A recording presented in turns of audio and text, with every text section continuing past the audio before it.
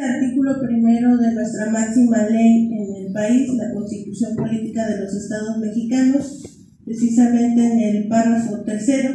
que todas las autoridades en el ámbito de sus competencias tienen la obligación de promover, respetar, proteger y garantizar los derechos humanos de conformidad con los principios de universalidad, interdependencia, indivisibilidad y progresividad en consecuencia, el Estado deberá prevenir, investigar, sancionar y reparar las violaciones de los derechos humanos en los términos que establezca la ley.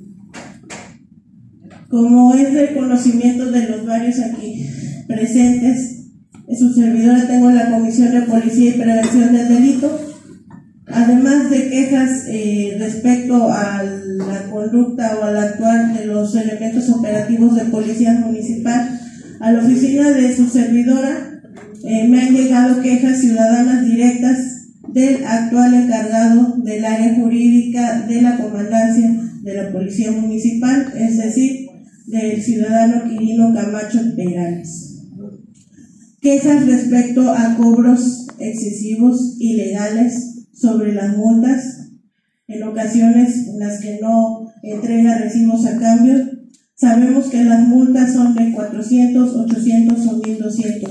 por eh, sanciones de faltas administrativas.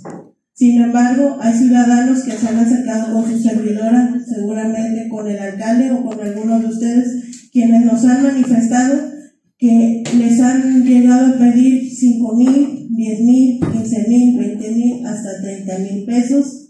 Alguno de estos ciudadanos me mostró un video fuera de la comandancia entregaban dinero al propio encargado del jurídico, es decir, a Quirino Camacho, por lo cual eh, su servidora giré un oficio a Contraloría,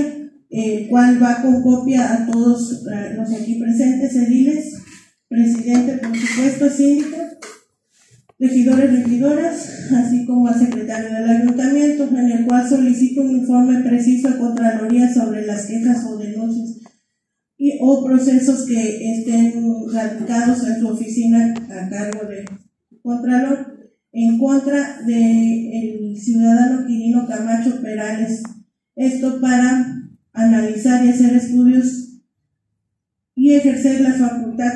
que nos señala el artículo 39 de la Ley Orgánica del Municipio Libre y estar en posibilidades de, con los elementos suficientes de prueba, proponer la suspensión o remoción de este servidor que recordemos ya estuvo anteriormente en el IF en, en, esta administración y hubo quejas sobre cobros ilegales que mismo realizó en la administración pasada igual, estuvo en el área del Instituto Municipal de la Mujer y también fue removido por quejas eh, sobre presuntos cobros ilegales. Hasta ahorita solamente tengo, eh, puedo comentar lo que ciudadanos de viva voz me han expuesto.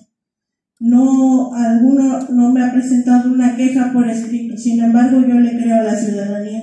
y no me puedo quedar callada porque el que se calla es cómplice. Y aquí eh, el área, la recaudación que genere la comandancia de la Policía Municipal no es la caja chica del ayuntamiento, no de los que estamos aquí sentados y no es esa pretensión, sino que no se abuse de la ciudadanía.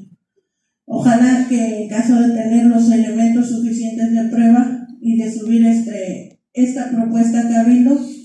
eh, pueda contar con su apoyo. Si no fuera así, alcalde, se lo pido respetuosamente, considere remover a este servidor y poner a otro que sí sea de confianza. Es cuanto.